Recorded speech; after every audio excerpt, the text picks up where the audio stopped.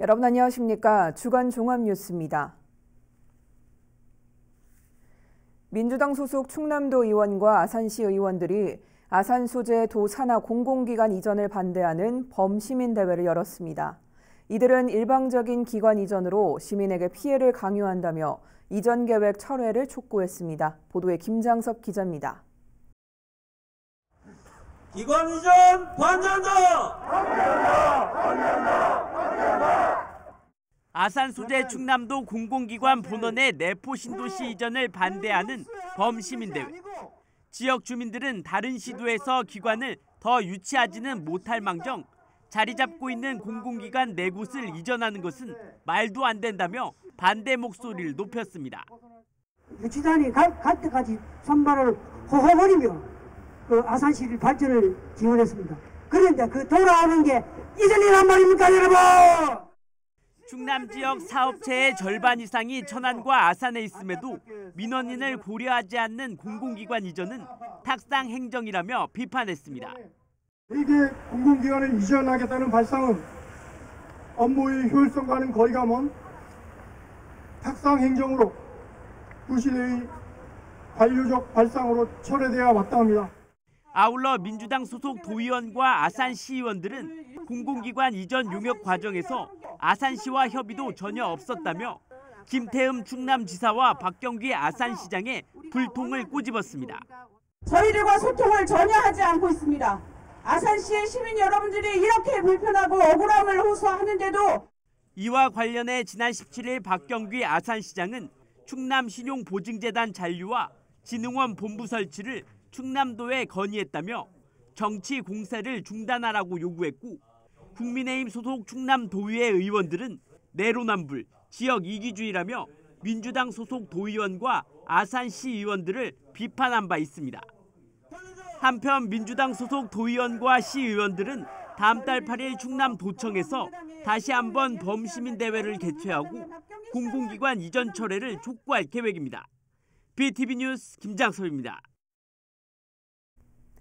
동료 의원 성추행 의혹으로 조사를 받아온 상병원 세종시 의장이 경찰의 사건 송치 결정으로 사면 초과에 놓였는데요. 여기에 오는 30일부터 열리는 세종시의회 새 첫 임시회에서 의장 불신임안이 논의될지 여부가 주목되고 있습니다. 김우순 기자의 보도입니다. 지난 8월 동성 동료 의원을 성추행한 혐의로 경찰 조사를 받은 상병원 세종시 의장. 최근 세종경찰이 관련 수사를 마치고 사건을 대전지방검찰청으로 송치한 것으로 전해졌습니다. 이 때문에 당장 30일부터 열리는 새첫 임시회에서 상의장에 대한 징계안이 다뤄질지 주목되는 상황입니다. 현재 상의장과 관련해 의회에 접수돼 있는 건 국민의힘 의원들이 제기한 징계 요구서와 불신임 결의안 등 두 건. 이중 징계 요구서는 윤리특별위원회에 회부됐지만 논의가 지지부진한 가운데 국민의힘 소속 의원들은 검찰 송치로 혐의가 인정된 만큼 이번 임시회에서 불신임안을 다뤄야 한다고 주장합니다. 저희 의원들은 어제 의원총회를 해서 일단 불신임안이 의, 저 본회의에서 상정이 안 된다든지 이렇게 하게 되면 그 30일 날 언론 브리핑을 하고 모든 거를 그 모든 그 이후에 본회의는 보이콧하는 걸로 이렇게 얘기가 됐습니다. 당사자인 상병원 의장은 말을 아끼고 있습니다. 검찰 송치 후 아직 공식적인 입장 표명은 없는 가운데 26일 열린 의정 브리핑에선 기자들의 질문 순서가 다가오기도 전에 자리를 떴습니다. 새해 초부터 불거지고 있는 상병원 세종시 의장에 대한 불신임한 논란이 내년 총선 등을 앞두고 장기화될 가능성이 커 보입니다. BTV 뉴스 김우순입니다. 천안시가 스타트업 메카로 도약하기 위한 청사진을 내놨습니다. 창업에서 성장에 이르기까지 스타트업의 맞춤 지원을 통해 5년 안에 스타트업 500개, 유니콘 기업 2개를 발굴한다는 계획입니다. 송용환 기자의 보도입니다. 천안의 한 스타트업 기업입니다. 특허와 논문 등 각종 기술 수요자와 공급자를 연결해주는 중개 플랫폼 업체로 AI 기술을 활용한 기업 홍보 마케팅 서비스도 제공합니다. 스타트업의 수도권 쏠림 현상이 지속되고 있지만 지리적 여건과 정부 지원 사업을 받기가 수월했던 게 천안을 선택한 이유였습니다. 제가 하고 있는 사업이 대학이랑 연구소랑 네. 이제 거래를 하는 건데 보통 거래처들이 서울이나 대전에 있거든요. 그래서 왔다 갔다 하기가 중간이라 편, 편한 게 있더라고요. 천안시가 스타트업 메카로 거듭나기 위해 스타트업 발굴 육성 계획을 내놨습니다. 앞으로 5년 동안 500개의 스타트업을 발굴하고 10년 안에 매출 10억 달러, 한화로 1조 원 이상인 유니콘 기업 2개를 배출하는 게 목표입니다. 대학 자체적이나 한자연 자체적으로 모집하는 기업들이 있습니다. 이 기업들이 연간 지금 발굴되는 게 한 450개 정도 되고요. 저희는 이 450개 정도의 검증 절차를 받은 거를 다시 한번 검증을 해서 100개를 저희 그린 스타트업 타운 내로 지금 들어와서 천안형 프로그램을 돌려서 결국적으로는 유니콘 기업으로 발굴하겠다는 게 저희 프로세스입니다. 시는 메타버스와 차세대 모빌리티, 미래 의료, 비대면 플랫폼 등을 중점 분야로 선정했습니다. 이미 1단계 그린 스타트업 타운을 조성한 데 이어 2단계인 이노스트 타워까지 내년에 준공되면 스타트업 인력 1000명가량이 상주할 것으로 보입니다. 여기에 3개의 지식산업센터와 13개 산업단지가 조성 중에 있어 기존 14개 산단과 함께 창업 이후 기업 성장을 뒷받침할 여력도 충분합니다. 다양한 자금 지원도 이뤄집니다. 5년 동안 150억 원의 예산을 투입하고 100억 원 규모의 전용 펀드도 조성합니다. 또 지역의 투자 분위기를 조성하기 위해 기업과 개인 투자자를 스타트업과 연계시키기 위한 홍보 활동에도 주력할 예정입니다. BTV 뉴스 송용환입니다. 아산 지역 인구가 꾸준히 증가하고 있는데요. 하지만 신생아 합계 출산율은 오히려 줄어들고 있습니다. 이에 아산시가 출산율 저하를 막기 위해 올해부터 출산 장려금을 높이고 산후 관리비도 지원하기로 했습니다. 보도에 김장섭 기자입니다. 지난해 말 기준 아산시 총 인구수는 36만 5천여 명. 4년 전에 비해 3만 5천 명이나 늘었습니다. 하지만 합계 출산율은 반대로 2017년 1.397에서 2021년에는 0.904명으로 계속 줄어들고 있습니다. 인구 증가에도 출산율은 지속적으로 줄어들면서 아산시가 올해부터 출산 장려금을 대폭 상향했습니다. 첫째 자녀는 30만 원에서 50만 원, 둘째 자녀는 50만 원에서 100만 원으로 올리고 셋째부터는 모두 1000만 원을 지급합니다. 대상은 출생일 기준으로 6개월 전부터 아산에 거주하는 시민으로 첫째와 둘째는 한 번에, 셋째부터는 5년에 걸쳐 아산페이로 지급됩니다. 또한 거주 기간이 충족되지 않더라도 6개월 이상 아산시에 거주하면 장려금을 받을 수 있습니다. 산후 관리비도 지원됩니다. 대상은 신생아 출산일 기준으로 1년 전부터 신청일까지 아산시에 거주하고 있는 시민으로 기초생활수급자에게는 300만 원이 지급되며 그 외에는 100만 원이 현금으로 지원됩니다. 다음 달부터는 임신부 100원 행복택시도 운영됩니다. 임신부가 아산 지역 산부인과에 방문할 때 거리에 상관없이 100원만 내면 택시를 이용할 수 있는 사업입니다. 한 달에 편도로 4차례까지 지원되며 아산시 교통약자 이동지원센터에 등록한 후 충남광역 이동지원센터로 이용을 신청하면 됩니다. 시는 올해 새롭게 시작하는 출산 시책이 출산을 고민하는 시민들에게 큰 도움이 될 것으로 기대하고 있다며 출산율이 더 이상 낮아지지 않도록 신규 시책을 발굴하는데 힘쓰겠다고 말했습니다. 아울러 시는 신혼부부 주택자금 대출이자와 아빠 육아휴직 장려금 등을 지원하고 있으며 자세한 사항은 아산시청 누리집을 통해 확인할 수 있습니다. BTV 뉴스 김장섭입니다. 국민권익위원회가 주관한 2022년 공공기관 종합청렴도 평가에서 천안시가 1등급, 아산시가 3등급을 받았습니다. 천안시는 전년도 3등급에서 2계단 상승하며 2002년 국민권익위가 공공기관 청렴도 평가를 시작한 이후 처음으로 1등급에 올랐습니다. 아산시는 청렴 체감도에서 2등급과 청렴 노력도에서 3등급을 받아 종합 청렴도 3등급을 기록했습니다. 세종시의 소아 전문 응급의료센터가 설치 운영됩니다. 세종시는 세종 충남대병원에 어린이 응급 환자를 전문적으로 치료할 응급의료센터를 설치하고 오는 4월부터 운영에 들어간다고 밝혔습니다. 8개 병상 규모로 운영될 이 센터에는 의사 6명과 간호사 10명이 근무하며 어린이 응급 환자를 전문적으로 치료하게 됩니다. 세종시는 센터가 운영되면 어린이 응급 환자 발생 시 다른 지역 종합병원 응급실로 이동했던 불편이 해소되고 골든타임 확보에도 큰 도움이 될 것으로 기대하고 있습니다. 천안 단국대병원이 보건복지부가 발표한 충남 지역암센터 및 권역암 생존자 통합 지지센터로 선정됐습니다. 그동안 전북과 광주, 전남, 경남 등 전국 12개 권역은 지역암센터가 지정돼 있었지만 충남은 미지정 상태였습니다. 단국대병원은 지난해 4월 위장관센터와 유방암센터, 폐암센터 등 암 진단에서 수술, 예방 등 통합 관리가 가능한 암센터를 개원한 바 있습니다. 온양온천 시장과 배방 상점가가 정부의 문화관광형 시장 육성 사업과 시장 경영 패키지 지원 사업에 각각 선정됐습니다.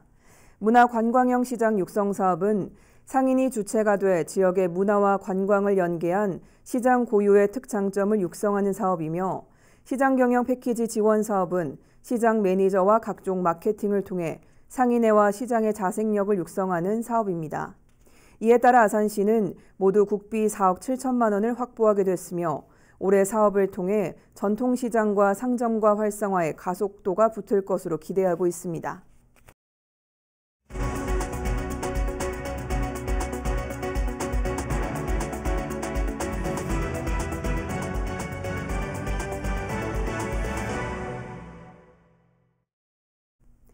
아산시가 온양온천역과 아산역 명칭 변경을 추진합니다. 온양온천역에는 아산 현충사를 병기하고 아산역은 장제역으로 변경해 지역 정체성을 살리겠다는 취지입니다. 보도에 김장섭 기자입니다. 아산시가 온양온천역에 아산 현충사를 함께 병기하는 방안을 추진합니다. 박경기 아산시장은 온양온천역은 아산시의 대표역이지만 이름에 아산이라는 지명은 없다며 아산 현충사라는 명칭을 함께 병기해 28년 전 아산군과 온양시가 통합됐다는 지역의 역사적 특성을 담아내야 한다고 말했습니다. 아울러 이를 통해 충무공 이순신 장군이 잠들어 있는 충절의 고장이라는 것을 함께 알릴 수 있다며 영명 변경 이유를 설명했습니다. 현재 천안아산 KTX역 남단에 위치한 수도권 전철 아산역에 대한 명칭 변경도 제시됐습니다. 시는 현재 아산역이 배방읍 장제리에 있음에도 영명으로 인해 외지인이 볼 때 아산역 주변이 아산시의 중심이라고 혼동할 소지가 있는 만큼 배방역이나 탕정역 등 다른 역처럼 소재지의 이름을 딴 장제역으로 변경해 지역 정체성을 살리는 것이 더 적합하다는 판단입니다.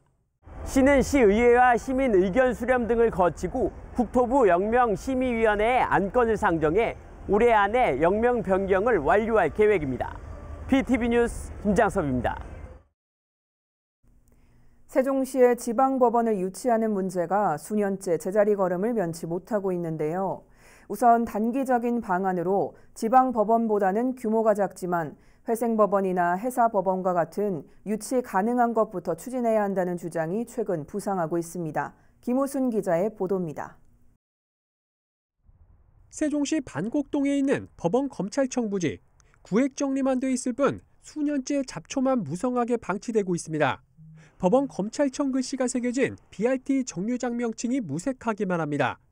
지난 2021년 지방법원과 행정법원 설치를 토대로 한 관련법이 국회에 발의됐지만 2년째 소관 상임위원회에 계류 중입니다. 세종시는 해마다 지방법원 설치를 가시화하겠다는 내용을 주요 업무 계획에 넣어 홍보하고 있지만 이 역시도 희망 고문이 되고 있을 뿐입니다. 이런 가운데 현실적인 대안으로 회생법원이나 회사법원 유치를 우선 추진하는 방안이 대두되고 있습니다.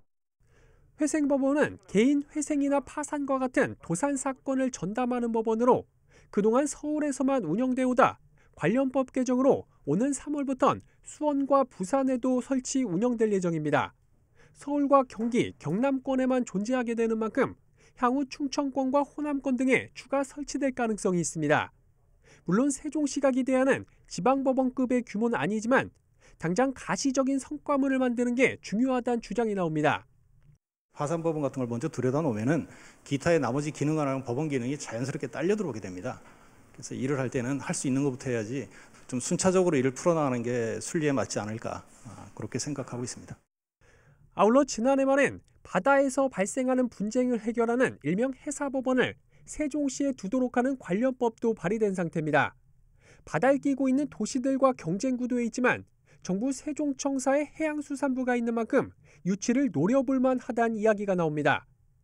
수년째 제자리 걸음만 하고 있는 지방법원 유치, 회생법원이나 해사법원과 같은 단기적인 성과물을 내기 위한 정책 기조의 변화가 있을지도 지켜볼 대목입니다. BTV 뉴스 김우순입니다. 올해 세종시가 문화예술 창조도시를 만든다는 목표로 여러 인프라 확충에 속도를 내기로 했습니다. 특히 그동안 시민들은 물론 문화예술인들의 아쉬움으로 남았던 예술의 전당 소극장 건립도 추진될 예정입니다. 김우순 기자의 보도입니다. 지난해 3월 개관한 세종 예술의 전당입니다. 1071석 규모의 대공연장을 갖추고 있지만 소공연장은 마련돼 있지 않습니다. 오페라나 뮤지컬 같은 대규모 공연은 가능하지만 연극 등 소규모 공연 유치는 사실상 어려운 구조입니다. 건립계획 수립 당시엔 소공연장도 포함돼 있었지만 타당성 검토 등을 거치면서 규모가 축소돼 대공연장만 설치하게 된 아픈 과거가 있습니다. 이 같은 아쉬움을 달래기 위해 세종시가 300석 규모의 소극장 건립을 검토 중인 것으로 확인됐습니다. 이를 위한 기본계획 수립 연구 용역을 곧 발주할 예정으로 오는 7월 중 그 결과가 나오면 구체적인 위치와 규모가 드러날 전망입니다. 현재 예술의 전당 임시주차장으로 활용 중인 LH 소유의 부지와 예술의 전당 정문 인근에 있는 시소유 정원 부지 등 두 곳이 유력하게 검토되고 있습니다. 연구용역을 통해서 타당성이라든가 위치를 지금 준비를 하고 있습니다. 왼편에 있는 시, 시 부지하고 뒤편에 있는 공간을 활용할 계획이다. 이렇게 좀 말씀을 좀 드릴 수가 있을 것 같습니다. 예술의 전당 소극장 외에도 문화예술 거점 공간 확충을 위한 사업이 올해 여러 추진됩니다. 세종시립박물관은 오는 2025년 개관을 목표로 고운동 고운뜰공원 안에 올해 착공할 예정입니다. 또 전국 광역단체 가운데 유일하게 세종시에만 없는 문학관 건립을 위한 타당성 조사 및 기본계획 수립 연구 용역도 준비하고 있습니다. 아울러 한국근현대미술사의 거장 장욱진 화백의 생가복원과 기념관 건립을 위해 오는 8월까지 세부 운영 계획을 수립하고 연내 착공을 목표로 추진할 방침이라고 덧붙였습니다. BTV 뉴스 김우순입니다. 천안 백석대와 백석문화대가 전국의 어린이들을 위한 인성 캠프를 열었습니다. 지난 1997년부터 시작해 올해로 벌써 27년째입니다. 송영원 기자입니다. 림보 경기에 푹 빠진 아이들. 팀의 승리를 기원하는 응원전이 뜨겁습니다. 한쪽에선 드론으로 훌라후프를 통과하는 드론 체험도 한창입니다. 백석대와 백석문화대가 마련한 백석쿰 캠프가 나를 찾아 떠나는 인성여행이라는 주제로 열렸습니다. 전국 지역아동센터와 그룹홈에서 온 아동과 청소년 500여 명이 참가했습니다. 스파이프스라는 인성 모델을 가지고 어, 나를 찾고 대인관계를 형성해서 어, 자기가 인성을 주도하고 또 사회의 가치와 목적을 이루어가는 2박 3일 동안 태극기 그리기와 도미노, 미니 올림픽 등 다채로운 프로그램이 진행됐습니다. 두 대학 150여 명의 학생들도 봉사자로 참여했습니다. 유아교육 현장에서 아이들의 인성 교육을 하면 더 효과적인 교육을 할 수 있을 것 같아서 캠프에 참여하게 되었습니다. 올해로 27년째 이어지는 백석쿰 캠프. 갈수록 각박해지는 사회 속에서 아이들에게 공동체의 중요성을 심어주고 있습니다. BTV 뉴스 송용환입니다. 천안시가 유기동물 입양 지원금을 확대합니다. 천안시는 그동안 시 유기동물 보호소에서 반려동물을 입양하면 예방접종과 치료비, 미용비 등 최대 25만 원을 지원했지만 올해부터는 최대 30만 원을 지원하기로 했습니다. 신청 기간은 입양일로부터 6개월 이내입니다. 천안시가 어르신 효도복지 서비스권을 1분기부터 천안사랑 카드로 변경해 지급했습니다. 효도복지 서비스는 만 70세 이상 기초생계급여 수급자에게 임의용과 목욕권을 제공하는 제도입니다. 분기당 3만 6천 원, 연 14만 4천 원이 지급되는데 읍면동 행정복지센터에서 카드를 신청한 뒤 연말까지 가맹업소에서 사용하면 됩니다. 세종시가 올해 들어 새롭게 달라지는 농업정책과 제도를 담은 안내서를 발간했습니다. 여기에는 세종시 농업인 수당 도입과 기본형 공익직불제 대상 농지 확대, 복숭아 축제를 문화 관광형 축제로 확대하는 등 올해 들어 달라지는 사항 등이 담겨 있습니다. 이 책자는 시민과의 대화나 읍면 주민센터를 통해 이장단에 배포하는 한편 관련 자료는 시 누리집의 전자책 형태로도 게시될 예정입니다. 국립세종수목원이 오는 30일 위탁재배 사업에 참여를 희망하는 임가 또는 농가 모집을 위해 관련 설명회를 엽니다. 이날 설명회에서는 위탁재배 사업에 대한 취지와 배경 설명에 이어 세종시 가든쇼, 농업기술센터의 재배하우스 지원 사업 등에 대한 정보가 소개될 예정입니다. 한편 세종수목원은 지역 상생을 위해 수목원 조성이나 운영에 필요한 식물을 지역 농가를 통해 공급받는 위탁재배 사업을 실시하고 있습니다. 이상으로 주간 종합 뉴스를 마칩니다. 시청해주신 여러분 고맙습니다.